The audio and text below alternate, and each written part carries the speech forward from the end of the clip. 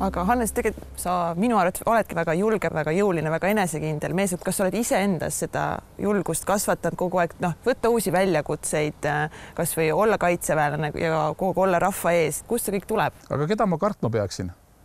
selles mõttes, et äh, mul on elus üks, äh, üks väga konkreetne reegel ja see, see on selles mõttes reegel, mis mind, mis mind on noh, kuidas ma ütlen, aidanud mõistust säilitada. ma ei ole ühegi inimesega raha pärast sõber ega vaenlane. raha on lihtsalt vahend, raha on taastuv ressurss, et meie ühiskonna probleem on minu meelest väga paljus selles, et inimesed seovad inimesi ei seo mitte sõprus, vaid inimesi seob äri, inimesi seob mitte, mitte üks maailmavaade, vaid inimesi seob mingisugune huvi või sissetuleku mingisugune potentsiaal. et äh, jah, ma ei ole nii hea mees või nii halb mees, et mul oleks raha pärast sõpru või vaenlasi, et ma sellepärast ütlen, et äh, mis mul ikka karta. et äh, ma arvan, ma olen selles vanuses mees, et äh, kui ma räägin tõtt, siis läheb see inimestele rohkem peale et ma ei viitsi valetada, mul on, mul ei ole nii hea mälu. ja ma olen otsekohane, jah. aga mida sa ütleksid võib-olla nooremale äh, põlvkonnale, kui me räägime just meesterahvastest, et mis nõu sa annaksid võib-olla kasvõi kui sa ise oleksid, vaataksid tagasi, oleksid veel noorem, et mis, mis nõu sa tahaksid edasi anda? Ma tahaksin öelda seda, et, et, et kui oleks minul endal võimalus nii-öelda aega tagasi kerida või jälle noor olla et siis ma kindlasti teeksin mingeid asju, mida ma siiamaani võib-olla olen teinud ülejala, oleks, teeksin rohkem südamega. ma harjutaksin pilli, kui ma õpiksin muusikat.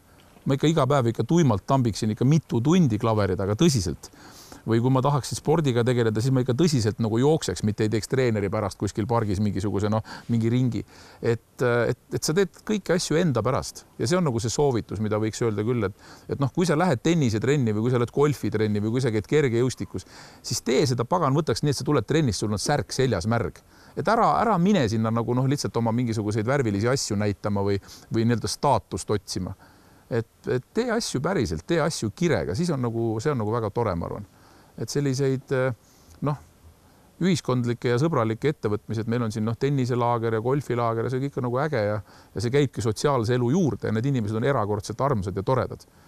aga selle kõige juures on jah see, et, et noored inimesed, kuulake nüüd, noored inimesed et ma ütleks noortele inimestele seda, et et eh, teie maailm on nii palju avaram ja teie maailm on nii palju laiem, et eh, teie edukus ja teie läbilöögivõime seisneb tänasel päeval selles, kuidas te suudate ja kui ruttu te õpite oma aega planeerima selles mõttes, et ükski lapsevanem ei tohi keelata oma lastel, ma ei tea, arvutis mängida või, või, või seda või teist või kolmandat teha. aga sa pead, aga sa pead tegema selgeks lapsele ja iseendale selle, et igaks asjaks on mingisugune aeg tund aega arvutimängu, tund aega trenni, tund aega mingisugust hügieeni, tund aega tubade koristamist, tund aega võõrkeelte õppimist, igaks asjaks natukene aega, see arendab inimest. see annab julguse, see annab enesekindluse, see annab oskuse oma asju planeerida ja ongi kogu lugu, noh, sest et eh, mis seal salata, ega kui ühe asjaga pidevalt teha ja ennast nii-öelda ära laulatada, siis inimene atrofeerub igas mõttes. et äh, rikub oma silmi või rikub oma kehakuju või asendit või, või lõppude lõpuks lihtsalt ta muutub asotsiaalseks, et tal lihtsalt ei ole enam midagi nagu sootsiumiga suhelda. see on kurb. aga, aga noortele ma tahan öelda küll, et, et ma kadestan teid, sest et te olete õppimishimulised, te olete andekamad, te olete tublimad, te olete paremad kui meie ja nii see peabki olema täpselt nii see peabki olema selles mõttes, et ainukene, mis meil on nii-öelda vanematel inimestel, noortest on, mis, mis meil on, mida meil on rohkem kui teistel või noortel, on see, et meil on elukogemus. kõik muu on neil poole parem kui meil, absoluutselt ma ei vaidle ka. et, et teha, teha nii-öelda siis asju südamega, mitte lihtsalt selleks, et teha midagi tegemise pärast. no täpselt jah, selles mõttes, et noh, ära lõika juukseid lühikeseks, kui sõbranna lõikas ära või ära, ära tee endale Mikki Hiirt, tätoveeri endale Mikki Hiirt kuskile puusa peale, kui sõbrannal on ka, vaid noh, tee, tee midagi muud. et see ei ole mitte see niisugune, et noh, ole isiksus, leia enda väljend. et, et see isiksuseks olemine lõpeb ka tihtipeale selliste naeruväärsete üle võlli keeramistega, kus, kus inimesed nii-öelda just vastupidi oma identiteedi rõhutamiseks muutuvad noh, noh, keeravad selle nagu üle, ole, ole see, kes sa oled aga armasta oma, armasta oma maad ja austa oma vanemaid, sellepärast et äh, me võime olla teiste kultuuride suhtes tolerantsed ja, ja lugupidavad ja, ja huvilised ja kõike iganes, reisime ja me oskame silmad lahti ringi käia, meie lapsed räägivad keeli ja kõike muud. aga teiste kultuuride mõistmise juures on üks oluline asi see, et, et, et nende kultuuris või paljudes teistes kultuurides on, on laste suhe vanematesse täna selline, nagu ta, nagu ta võiks olla. et lapsed võiksid aru saada, et vanemad ei taha neile ju halba. et nad on Nad on, nad soovivad head ja vanemad võiksid aru saada, et lapsed ei ole nende omad, vaid lapsed on lihtsalt sündinud, et äh, ühiselt eluteel edasi minna. et lapsed ei ole kellegi omand, lapsed on ise isiksused, nad on lihtsalt väikest kasvu täiskasvanud. ma olen, ma suhtun lastesse ja noortesse väga suure lugupidamisega, tõsiselt ja mina leian ka, et asju tuleb teha südamega ja mitte sellepärast keegi teine teeb, vaid teha just leida ja. see miks enda seest, et miks sa midagi teed. aga Hannes, et mis on see sinu miks, et miks sa teed just praegu neid asju, mida sa teed, mis on see suurem eesmärk mm. see suurem eesmärk.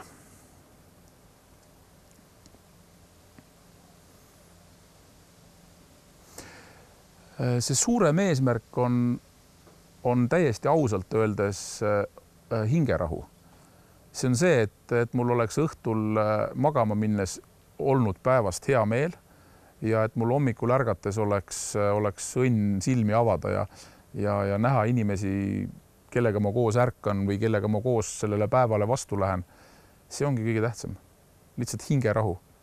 see on see, mille nimel ma neid asju teen, kui ma tahan, siis ma, ma teen, ma teen kõiki asju nii-öelda täiega ja ma ei häbene öelda, et kui vaja, siis ma molutan ka täiega, mulle meeldib laisk olla ja ma teen seda täiega. ja kui ma teen tööd, siis ma teen seda täiega. et äh, selles suhtes on jah ma teen seda ühe suure asja nimel, see suur asi on, on rahulolu ja, ja hingerahu.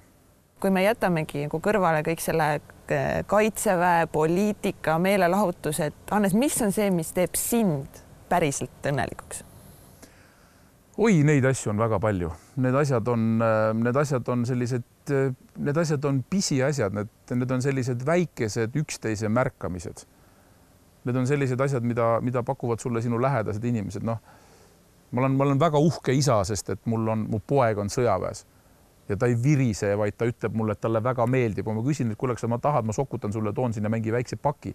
ei, too see pakk siis, kui on kõigil külastuspäev, et ma ei taha mitte mingit privileege ega mitte mingit onupojapoliitikat.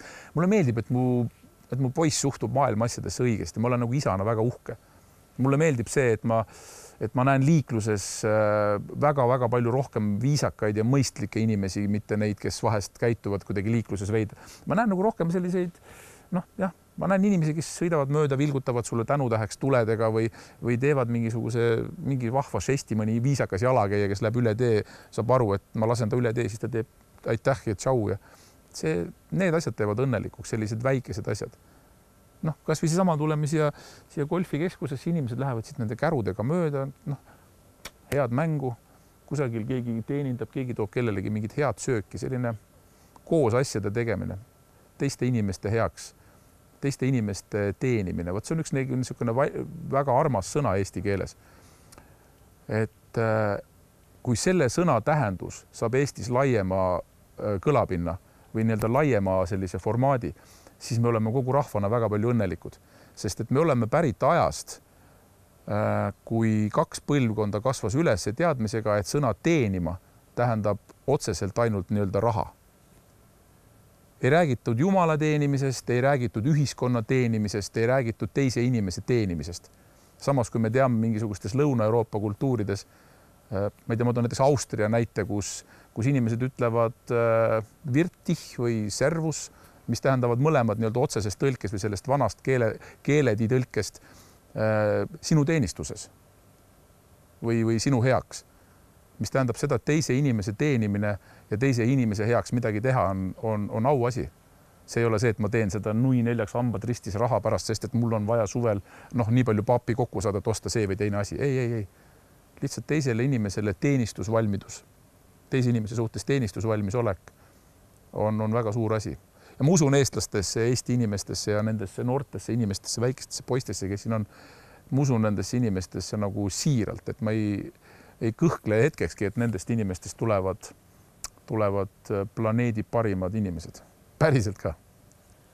Aga, aga mida me saaksime siis inimestena, eestlastena nagu paremini teha, et, et me tunneksime rohkem seda õnnelikkust, et me oleksime rohkem tänulikud üksteisele, et ma arvan, et see on selline, selline,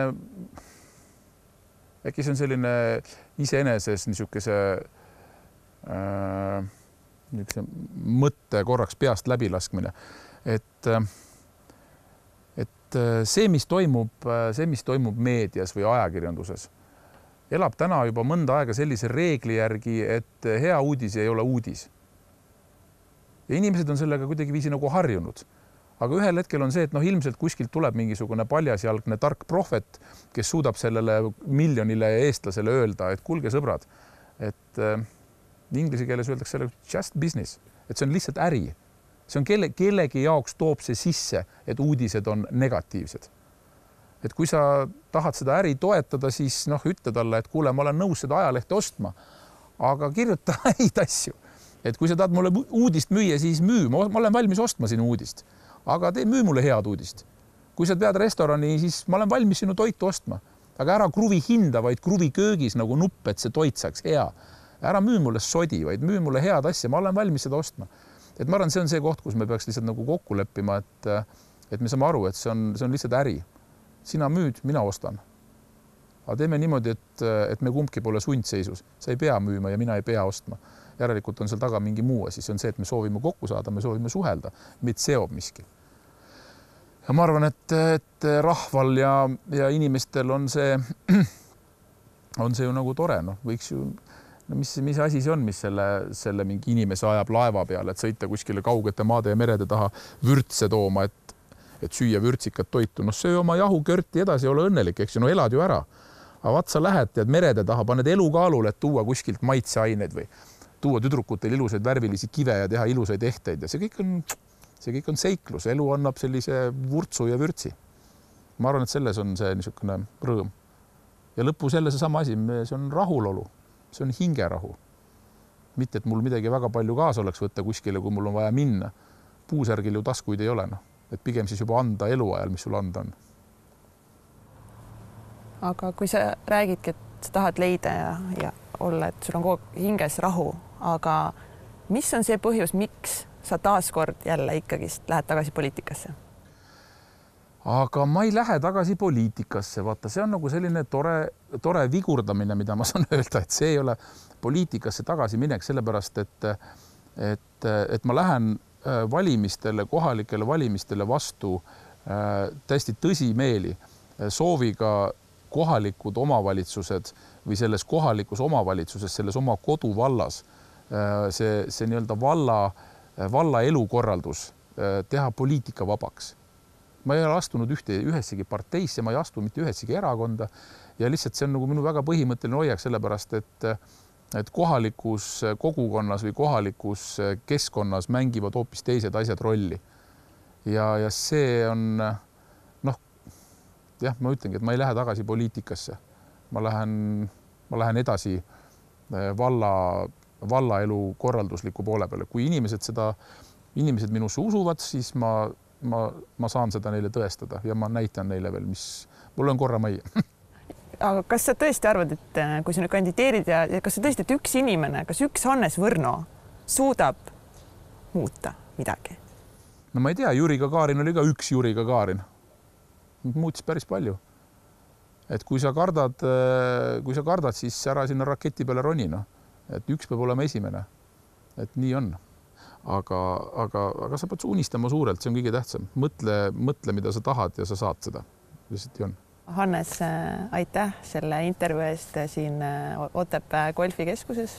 aitäh, aitäh vaatajatele, aitäh golfikeskusele, väga, siin on alati väga õdus. ja ma loodan, et, äh, et sa kasvad ja, ja oled stabiilses hingerahus, aga lõpuks äh, leiad täpselt selle, mida sa otsid. südamest tänan. aitäh. aitäh